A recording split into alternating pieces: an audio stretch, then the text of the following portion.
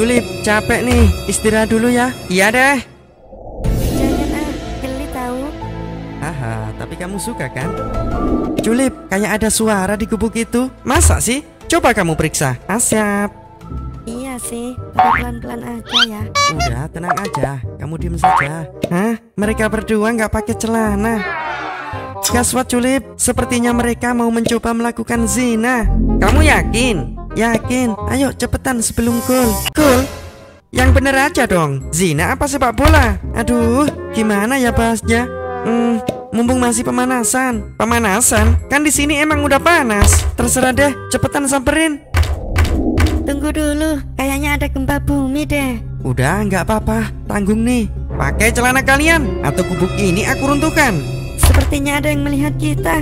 Ayo cepetan. Iya, ya, bentar. Apa yang kalian lakukan di sini berduaan? Hah?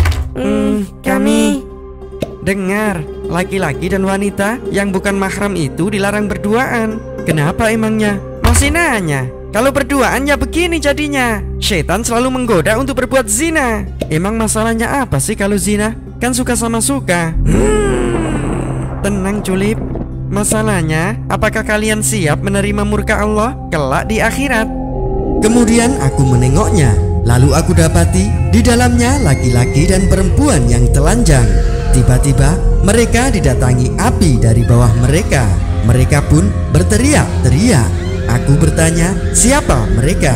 Keduanya menjawab, "Adapun laki-laki dan perempuan yang berada di tempat seperti tungku pembakaran, mereka adalah pezina." Tidak, tidak, aku tidak mau. Aku tidak mau. Jika begitu, segeralah bertaubat kepada Allah dan jangan mengulanginya. Baiklah. Ya sudah, aku permisi dulu ya, antarkan dia pulang. Gak bisa.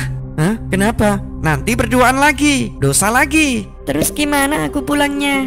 Suruh kerabatmu yang menjemputnya. Jangan sampai setan kembali memperdaya kalian.